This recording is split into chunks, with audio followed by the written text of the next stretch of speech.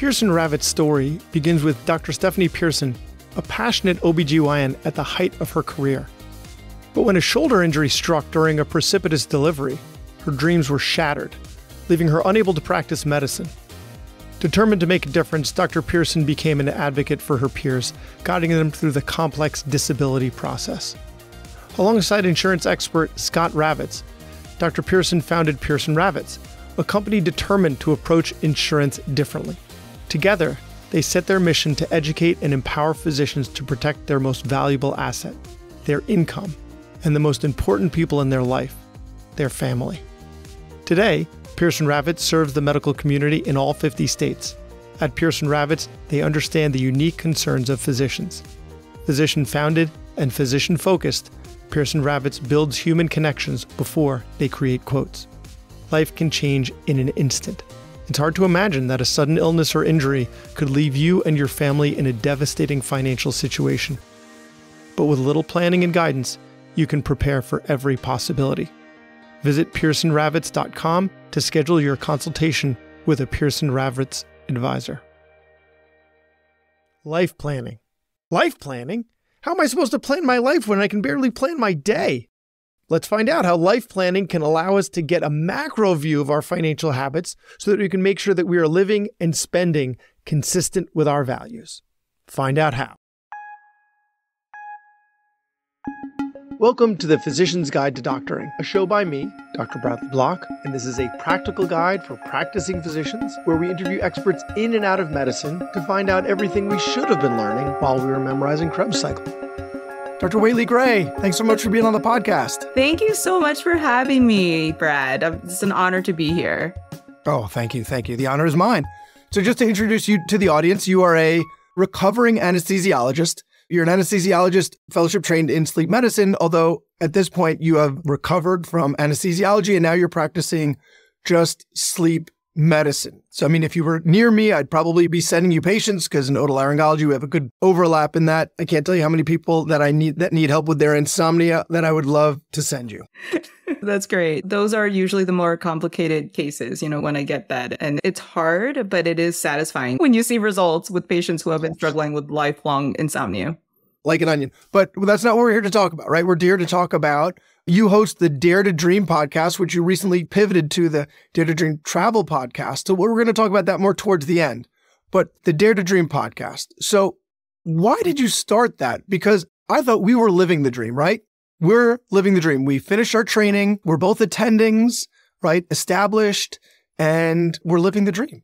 So, what do we need the dare to dream? Why do we need to dare to dream if we're already living the dream? That phrase has a very special meaning for me. This goes back about a little over two years ago when we we're in the thick of the pandemic and I actually at that point thought I was living my dream. You know, I had studied hard, med school, residency, fellowship, and finally, you know, my poor family that had to like keep moving around, you know, during my training, finally we were settled in this very lovely little town in Vermont, right on the Canadian border. We found our dream property. You know, my husband and I found like this farmhouse on 140 acres and like it's beautiful. So, you know, we love nature and hiking. And so we're like, wow, we're living in a dream. You know, we're in this beautiful location and I get to go to work in an environment that I love. You know, I hear physicians sort of in social media and various communities sort of talk about burnout and, you know, how everything's hard. And yes, I had gone through my own burnout because my husband and we had our first baby when I was an intern you know, we didn't have any help. And so we already went through a burnout story. So I'm like, no, this is now the beginning of my dream life. that was the backdrop. But of course, you know, when we sort of assume everything is great and perfect and picture perfect, something comes along. So for me, it was a little shatter bubble that I thought I was living in. You know, this was about five years into being an attending. So I was like, oh, you know, this is great well, it's only five years. I mean, people usually have a career that's like 30 plus years long. And I encountered the first obstacle, which was the amazing people that moved my whole family to and settle into this new town.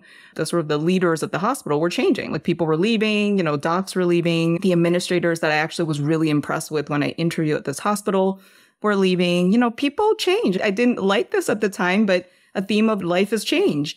I was very distraught because it seemed like the change was for the worse. It seemed like my dream was being shattered. Changes were happening at work where all of a sudden that narrative that I was hearing other physicians talk about was happening in front of me, where I felt like I had no autonomy, no input into how things were being run in my practice. And this was coming from where I thought I was living the dream job, the dream life that sort of started a whole, and now in retrospect, I call it midlife crisis. I was actually just about to turn 40 at the time. So it's actually good timing for midlife crisis. And you were in rural Vermont, right? So it's not like, oh, there are three other hospital systems right around the corner. Like where I am in New York, they're all getting swallowed up and coalescing, but there's still like, there's Catholic Health, there's Northwell, there's Columbia Cornell, there's NYU, Montefiore, like there's a ton to choose from. You, it's like, that's the one hospital, right? That is exactly right. And I actually was at that time going to three hospitals, but all, you know, sort of in an agreement with the same employer. But you're right. Like there's not many players in town. And even I know private practice in most physicians' minds is like a dying thing, but it's even harder in a rural environment where, you know, there was like, there's no payer mix. You know, it's like Medicare, Medicaid for the most part yeah, it felt like at the time that my options were really limited there was like, you know, sort of an immediate, I knew somebody who was in a different, like about maybe two and a half hours away who was like, oh, maybe you want to come move here. We have a great system and, you know, everything seems great. And I thought, wait a minute, I heard that story before, you know, five years ago when I moved here and everything seemed perfect. And, you know, this is, you know, coming from my dream job. And so I just felt really discouraged as a doctor. I mean, as you know, Brad, like we were like the cream of the crop, right? Like we did not end up where we are today because we're like, oh, well, hopefully we'll make it. Like we worked hard and there was like really nothing holding me back. I mean, when I applied to medical school, I'm like, I'm going to change the world. You know, like I was very, and still am very idealistic. And so I wasn't about to sort of sell out my soul to what I thought weren't like aligned with my, what I felt was my mission and purpose in life, which, you know, medicine is very much part of that. Like I love being a doctor. And so it was very discouraging. I actually, at that point, I was like, maybe I should look into something else. You know, like I have the internal resources, like I can pivot and maybe I can just, you know, leave medicine and do something else. Just for the listeners, this isn't one of those podcasts, right? This isn't one of those podcast episodes where you encounter burnout and then you quit medicine, right? Where this is heading. So if you're about to like pause or go to the next episode or unsubscribe, whatever, like keep listening. So she ended up staying in medicine. Spoiler alert, I'm actually at the exact same job.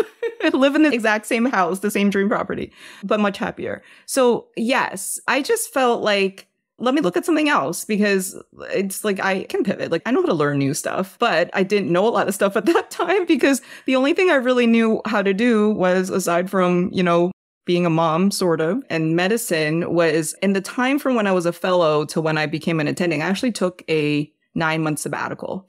And there were various reasons for that, including her family was kind of traumatized by having had a total loss house fire. We had just, you know, had a newborn. So we had a lot of sort of major life events. That wasn't what led to burnout. No, the burnout was actually house- before then. the burnout was just juggling, you know, having a newborn and being a resident and just not really knowing how to tap into support and, you know, being in a like a new state and everything like that.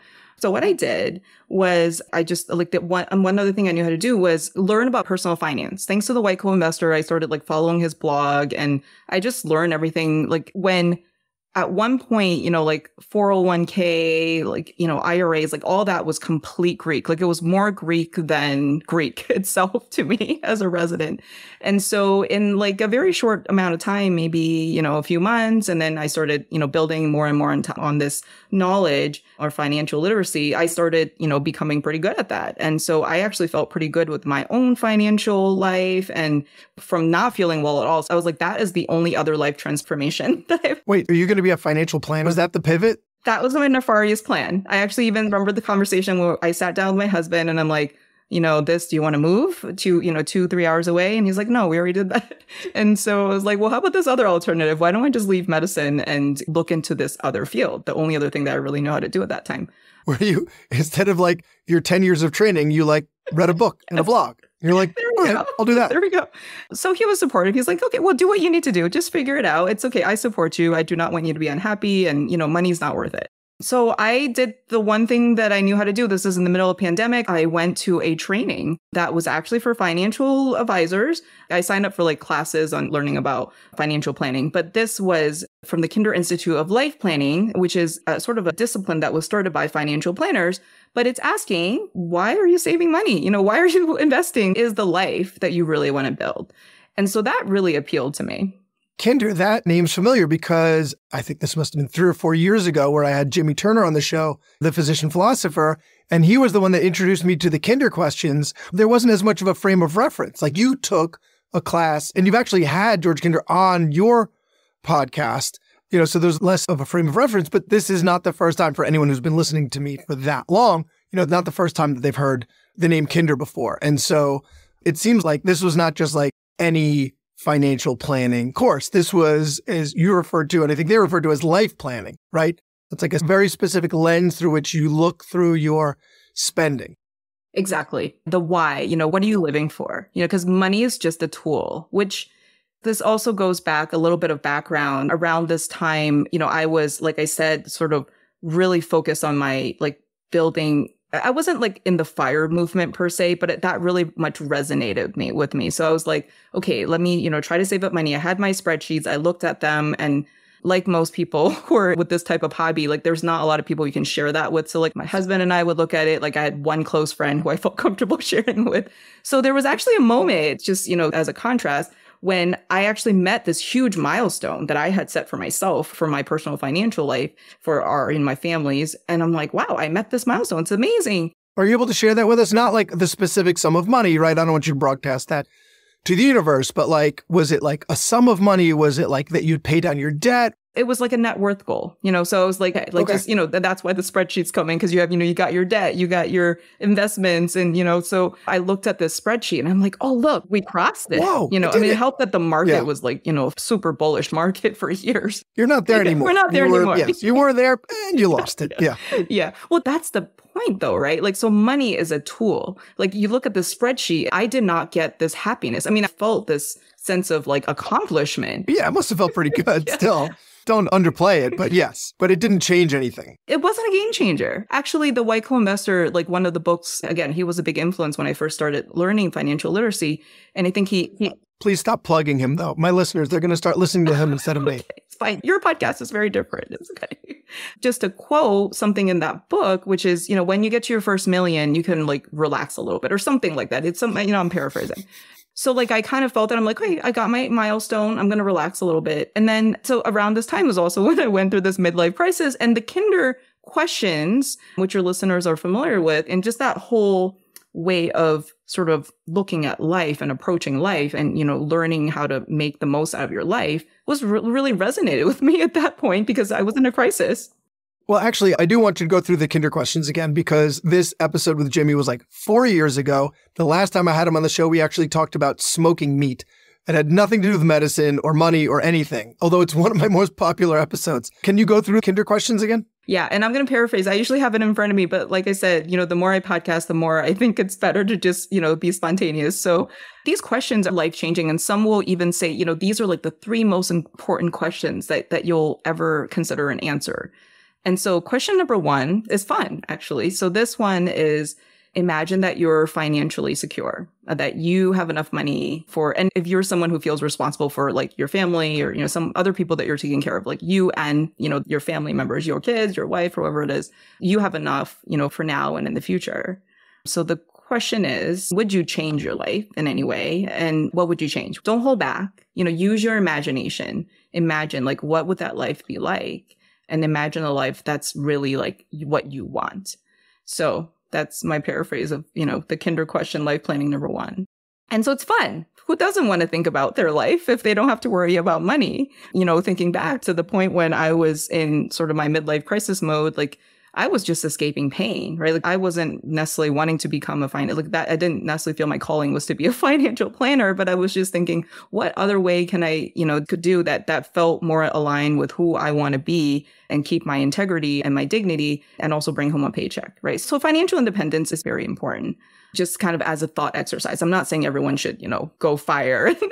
and uh, actually, we've covered that a little while ago with uh, Jordan Grumet, who, as much as he's the godfather of fire, made a great argument for not pursuing fire, right? Because then you're front loading the work like we've already done. And who knows? We never know. And this is one of the other kinder questions. Like you never know when the next day is going to yes. be your last, right? So one of those other kinder questions is just to, just so yes. we can, you know, move through them a little quickly. Number two, you have less time. So you, you only have like five or 10 years to live. You know that. What are you going to do with your time? And then the last one is you only have a day to live. What are you going to do with your time? So just these thought experiments for recognizing what's important and prioritizing. That's actually how the Dare to Dream mission got started. So I attended this workshop so the other thing that was important about this workshop was because I was not using CME money and it was my own money, I really tried to make the most out of it. So when they said, Hey, does anyone want to volunteer? You know, speak in front of everybody and get life planned. I was like, yeah, I'm going to raise my hand because what do I have to lose? I got to get. I'm going to milk anything, every penny out of this I can. Yeah. And that was the most amazing experience where I got to really sit and pause and verbalize all the things that I actually find important in my life. That's not just like chasing after, you know, a medical degree and all, you know, because that's also what an accomplishment in itself, but just other stuff, right? The other stuff that people don't usually sit down and try to figure out what's really important to them. And so at the end of that workshop, you know, after I felt like I had this life changing experience where I felt more clarity about what I wanted to do and who I wanted to be in my life. Wait, I'm sorry. So what was it? Because it sounds like there was a big epiphany moment there, there right? And that's really what you want to do is you want to share this epiphany with other physicians out there, right? So what was the epiphany, right? You got clarity, but what was that? Like, I want to see yeah. it through your yeah. lens. So this is one of the things that I try to encourage all doctors to do because it's not something that we're really trained to do, which is to use our imagination. So like dare to dream, right? This word, the term, like when we talk, it sounds like so silly. Like, why would anyone want to do that? It seems like a waste of time. But there is something about visualizing you start listing like this is important to me these values are important to me like the, this goal would be nice to do and and then you start actually imagining like just make it as real as possible in your imagination so you maybe take yourself to six months in the future so take yourself 20 years because that's too far away and too theoretical but like six months in the future here's a moment where all those things that you said like hey i want to be I want to spend quality time with my kids. So you're imagining that moment where like you and your kids are laughing and you're having that connection. And so you're imagining to make this as real as possible, to be in the moment as possible, all the things that you really want. And that was my epiphany was when actually the life planner kind of painted that moment, that scene for me. And to other people, it sounded so simple because at the time it was just like, it was really me like having this moment with my kids laughing and, you know, my husband saying, wow, I could see that you're really happy. And it was none of those things I had at that time. And so it might be simple things, but that's the thing is, you know, we go after the hard things as doctors, but we don't necessarily go after the simple things because those may sometimes be harder to get. So I think there's something, it's not quite what you're saying, but like as you're saying this, it conjures up an image in my mind of something that I really want to happen in my future, which is I there there is contrary to popular belief there is surfing on Long Island. It's not very good. It's really messy. It's all sand, and so when you're surfing at a reef, everything's more predictable because you know where the wave's going to be. But in sand, it's different. I want to surf with my boys, so I want to surf with all three of my boys. I mean, if my wife wants to come, that would be even better. At some point, I just want to be out there. It doesn't need to be on Long Island. It be anywhere, but just surfing with all of us. I'll, you know what I'll just say with the whole family, all five of us surfing at the same time would be just such an amazing dream. Now, right now, the boys are three, five, and six. So like surfing in the ocean, not really, you know, and I'm not a very good surfer. You know, what do I need to do to make that happen? Okay. So this summer, maybe we'll schedule some surf lessons on the weekends with the boys. You know, maybe go on a vacation where we all like you know, get a little better, you know, like just little things here and there that I'm designing my life to make this end goal happen. But each step of the way is not like work, you know, it's all going to be for all of us. Sorry, I'm sorry to interrupt your, but like that's just what I pictured of my. So that that that's a beautiful example. I love that you share that. I love that when you have that vision and that you're saying it out loud, and because that's what most people don't do, right? I mean, uh, the nice thing about podcasting is that you can say this stuff out loud and now it's uh, everywhere on the internet. and so you're accountable. But it is beautiful. So you might have this inkling in your brain. Like most people, they have like a quiet voice, like, oh, wouldn't it be cool to do that? But they don't even take the time to stop and like even say it out loud. And then what you're also doing, you're like making it more real. Like, so in life planning, we would ask like, oh, you know, like, what would that, like, what do you feel when that's happening? Or like, what do the expressions on your boys look like, you know, when you're doing this? And so trying to like just make it as real as possible, be as eh, much in the moment as possible. And so that dream, like you get, you feel so close to that dream and you're like, that is so amazing. I have to get that because it gives you energy. Like you, you're, you just get so excited. And then, you know, that, like you said, then it's easy to take that next step. That next step would be like scheduling some surf lessons, you know, or, or, you know, like maybe, you know, scheduling a vacation where it would be, condi- you know, places where you can surf. And, or you like, sharing it with your wife, like, because she'll be like, what? Like, what kind of dream is that? But if you share it with her, like, if you say it, the more you say it to the people you love and the people you care about, like, the more it just becomes closer to reality. And then they get it in their heads too and they can help you make it happen. Yeah. So is that so with the kinder questions, it helps you figure out your priorities. And then life planning, what you're doing is because I mean, that was just one example for me. And for you, that was like six months from now, just trying to enjoy your kids really unfettered from your responsibilities. So how does that translate into life planning? That sounds more like event planning. Yeah. So life planning is there are certain processes, right? So like what, but the most important thing like is that torch statement. And the torch statement is that moment in time where in the not too far future, where you're imagining that all those elements kind of come true in, in, in this like real life moment. And then you get clarity because then you're like, wow, I want that. And then planning part, you know, where the, we, you know, we do talk about like the ideal day, ideal week, ideal year, all, all of those things. So like but it's actually not as regimented as you might think when you hear that term because you're like, oh, there must be some process. Like there has to be a book, you know, like where you're filling out all the questionnaires. It's not that complicated because really, when it comes to daring to dream and living our dreams, like you said, like if you have this vision and you have this, you get energized by it, you just make the next step you don't have to make this like crazy elaborate plan because the thing is, the more elaborate, the more steps it takes, the less likely it's going to get done. So you just do the next thing and that next thing will get you closer. So the torch statement, what, so the torch statement is, I mean, for you was your description of that state of being family, but could you just define that a little yeah, more? Yeah, the torch statement is really it's like a movie. So you, in the life planning process, usually, you know, we do kind of this like by the book in life planning. You, we're, you know, kind of going through answers that someone has to three questions and we're sort of elaborating on it. And a lot of life planning is also kind of like being present. So a lot of it is based on mindfulness. So we're listening into what the person is saying about what they want, but also we're trying to get the underlying feelings too. Cause sometimes people will say something, you feel what they're saying and there's maybe sadness or something else that's in there. So you're also sort of trying to encapsulate that. And then, and then, so exactly like, you know, when we give the torch statement, it is really just that it's that description of imagining what it is that they want in a moment in time.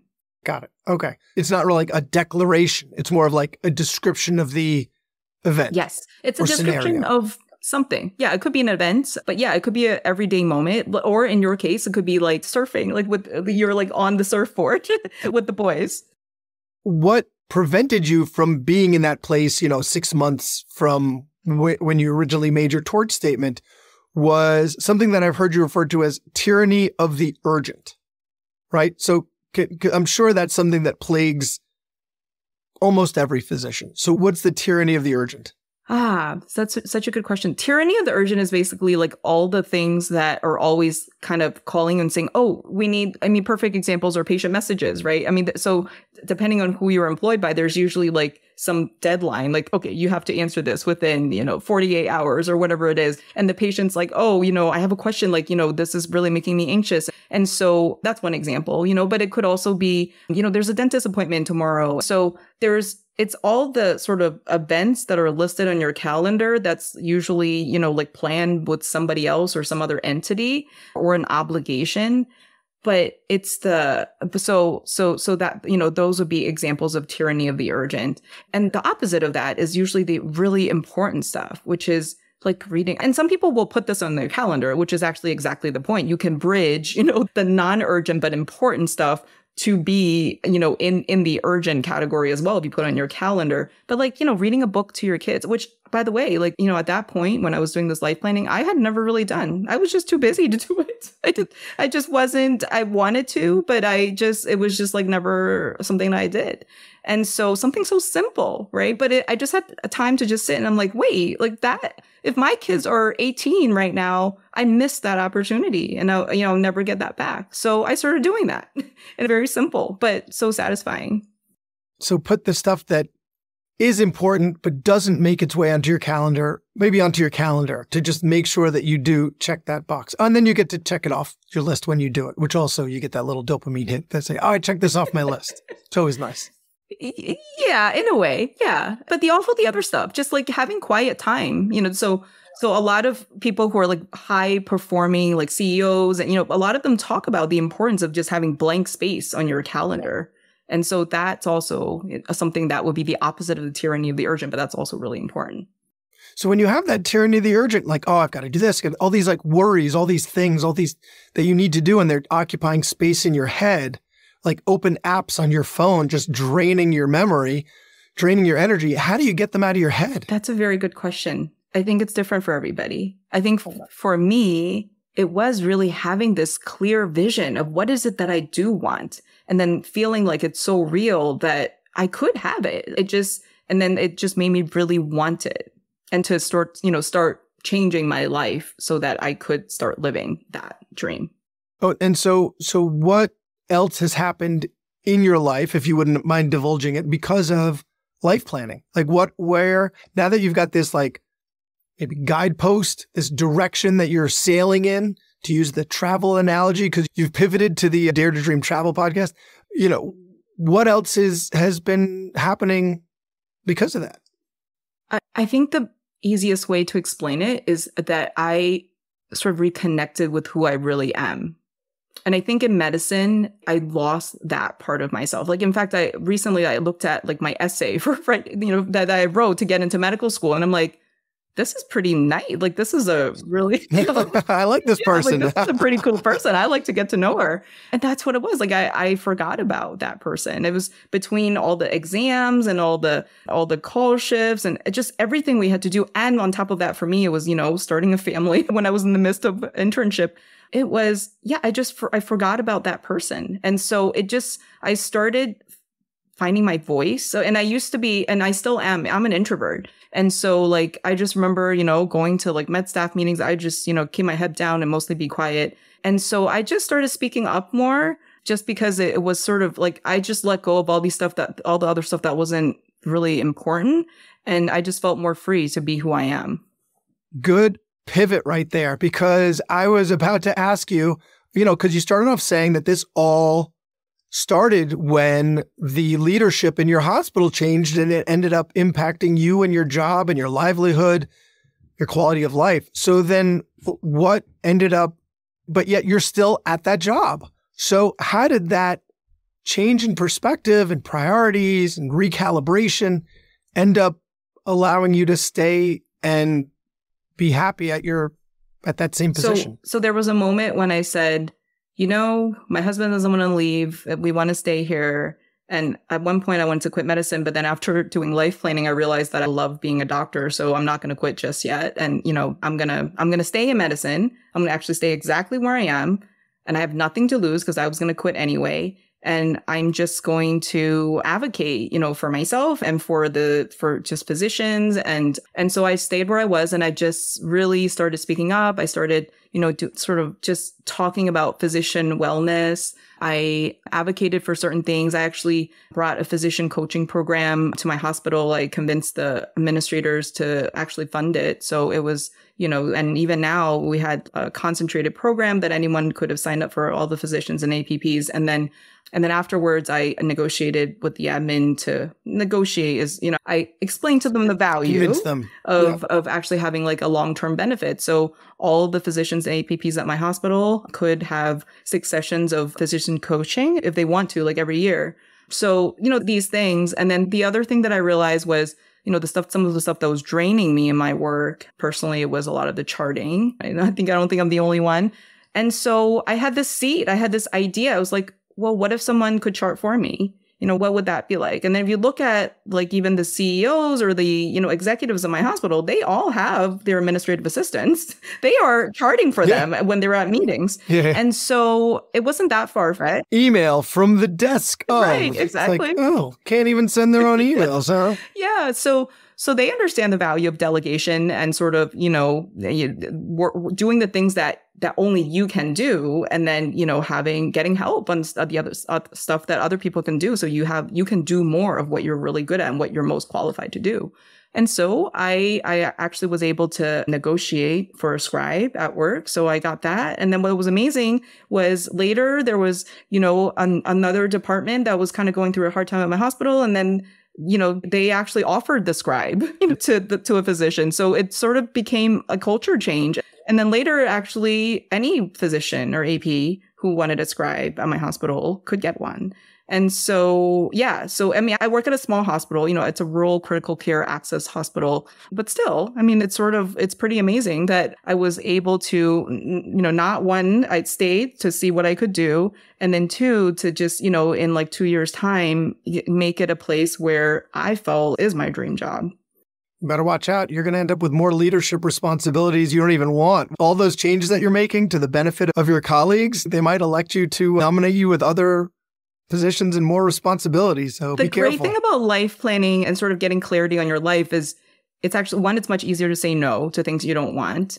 And two, you don't get FOMO because you're like, well, I don't, I didn't really want that. That wasn't aligned with what I want. So it's okay. Like it's okay to not go after that. Amazing. Amazing. Well, I love how this turned out, right? I love how it, you know, you wrapped it all up very in a neat little bow in the end. So if people want to hear more from you, if they want to hear your podcast, where can people find you? Where can people find you online? Yeah. So I I'm on most of the social media except for TikTok and Twitter. Okay, but I, so I'm on LinkedIn, Facebook, and Instagram. If they want to find me, probably the best is on Instagram, Dream Physician at, on Instagram. If you are on Facebook and you're a physician, literally and figuratively because you are a sleep medicine doctor so i love that handle. Perfect. If yeah. you do if you're still in the dark ages like i am and you are you know still into facebook communities please join the dare to dream physician travel facebook group. I'm starting a new community there so where, where i get to share some of you know my travels and some of the podcast content and just support physicians and living life to the fullest through travel. And dare to dream physician.com is my website. Fantastic. Well thank you for all the work that you're doing for physicians out there and for being the inspiration. Thank you so much for having me. And I'm excited to interview you on my podcast. I'm looking forward to it. And now, a final word from our sponsor. At Pearson Ravitz, they understand that life can change in an instant. It's hard to imagine that a sudden illness, injury, or catastrophic event could put you and your family in a devastating financial situation. Physician founded and physician focused, Pearson Ravitz builds human connections before they create quotes. Visit pearsonravitz.com today and embark on a journey of safeguarding your future. Thanks for listening to the Physician's Guide to Doctoring. Be sure to subscribe and leave us a positive review on your favorite podcast player. I'm also available for medical legal consulting and keynote speaking if you're interested, or to just give us some feedback on the show, email me at brad at physiciansguidetodoctoring.com. I'll see you next week. The ideas expressed in this podcast are those of the interviewer and interviewee and do not represent those of their respective employers.